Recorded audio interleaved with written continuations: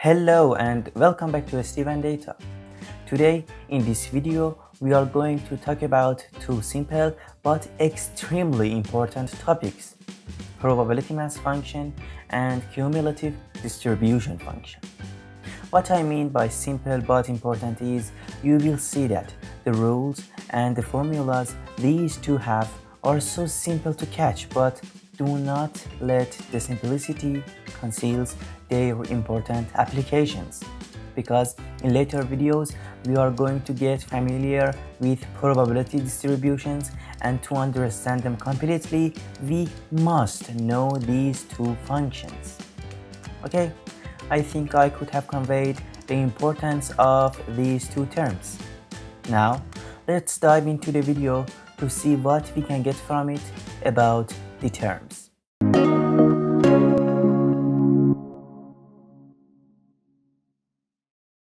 Many physical systems can be modeled by the same or similar random experiments and random variables. The distribution of the random variables involved in each of these common systems can be analyzed and the results can be used in different applications and examples. In fact, random variables are so important in random experiments that sometimes we essentially ignore the original sample space of the experiment and focus on the probability distribution of the random variable.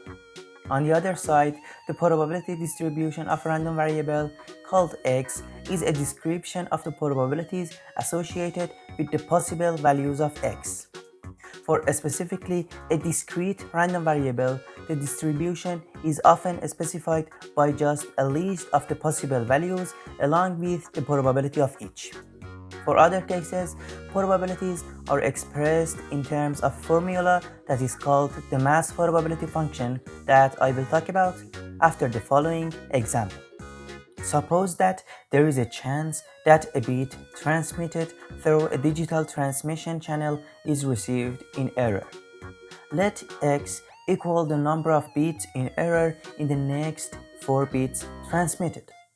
The possible values for x are 0, 1, 2, 3, and 4. Based on a model for the errors that is presented in the following section, probabilities for these values will be determined. Suppose that the probability of x equals 0 is equal to 0.6561 the probability of x equals 1 is equal to 0.2916. The probability of x equals 2 is equal to 0.0486. The probability of x equals 3 is equal to 0.0036. And finally, the probability of x equals 4 is equal to 0.0001. The probability distribution of x is specified by the possible values along with the probability of each as I mentioned. A graphical description of the probability distribution of x is shown in this figure. Now, suppose that a loading on a long, thin beam places mass only at discrete points. The loading can be described by a function that specifies the mass at each of the discrete points. Similarly, for a discrete random variable called x, its distribution can be described by a function that specifies the probability at each of the possible discrete values for x. And that function is called the probability mass function, which is described like this.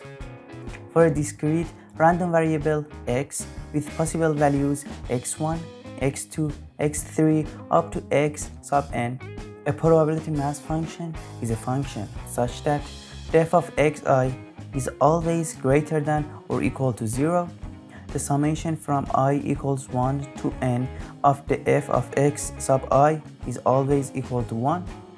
And finally, the f of x sub i is equal to the probability of x equals x sub i. And as you can see for the bits in error in the last example, the probabilities are bigger than or equal to 0 and their summation equals 1. Now, to understand the probability mass function better, let's see another example. Let the random variable x denotes the number of semiconductor wafers that need to be analyzed in order to detect a large particle of contamination. Assume that the probability that a wafer contains a large particle is 0.01 and wafers are independent. We are interested in the probability distribution of x. Let P denote a wafer in which a large particle is present and let A denote a wafer in which it is absent. The sample space of the experiment is infinite and it can be represented as all possible sequences that start with a string of A and end with P. That is, S contains P, AP, AAP, AAAP, and so forth. Now consider a few special cases. The probability of x equals 1 is equal to the probability of p that is equal to 0.01. Also, using the independence assumption, we have the probability of x equals to is equal to the probability of a p that is equal to 0.99 times 0.01 that is equal to 0.0099 and this pattern leads to a general formula that is the probability of capital X is equal to x is equal to 0.99 to the power of x minus 1 times 0.01. Describing the probabilities associated with x in terms of this formula is a simple method to define the distribution of x in this example. And we can clearly see that the probability distribution function meets our mentioned conditions. Now, it's time to get familiar with the cumulative distribution function. An alternate method for describing a random variable's probability distribution is with cumulative probabilities, such as the probability of capital X is less than or equal to X. Furthermore, cumulative probabilities can be used to find the probability mass function of a discrete random variable. But before giving the formal definition of the cumulative distribution function, let's get familiar with cumulative probability by the following example. In the digital channel example, we might be interested in the probability that 3 or fewer bits are in error. This question can be expressed as the probability of x is less than or equal to 3. The event that x is less than or equal to 3 is the union of the events x is equal to 0, x equals 1, x equals 2, and x equals 3. Clearly, these four events are mutually exclusive. Therefore, the probability of x is less than or equal to 3 equals the probability of x equals 0 plus the probability of x equals 1 plus the probability of x equals 2 plus the probability of x equals 3 and this summation is equal to 0.6561 plus 0.2916 plus 0.0486 plus 0.0036 and that is equal to 0.9999. In general, for any discrete random variable with possible values x1, x2 up to x sub n, the events x equals x1, x equals x2 up to x equals x sub n are mutually exclusive.